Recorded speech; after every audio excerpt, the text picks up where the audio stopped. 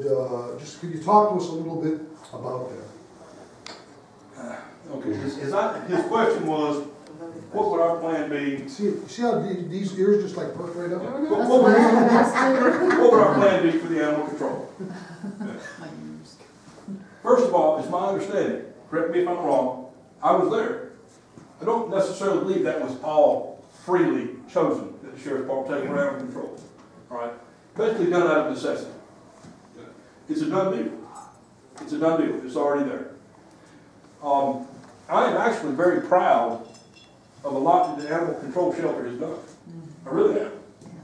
I think we got a lot of bad press over something, um, yeah, probably shouldn't have happened, but I think it was maybe taken a little too far.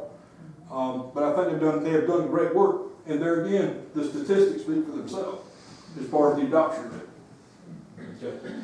I have, uh, no problems with trying to, uh, to leave things as they are with minor changes, because that, you know, you folks have been told, don't broke what ain't, or don't fix what ain't broke. Okay. So there will be, there will have to be some minor changes.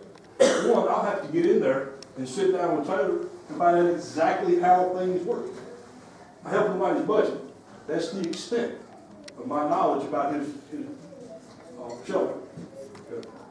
But to just come in blindly and say, you're doing a great job, appreciate it. I'm not doing justice to the, to the folks that voted for me. Okay. So, we need to go in and find out how things are going.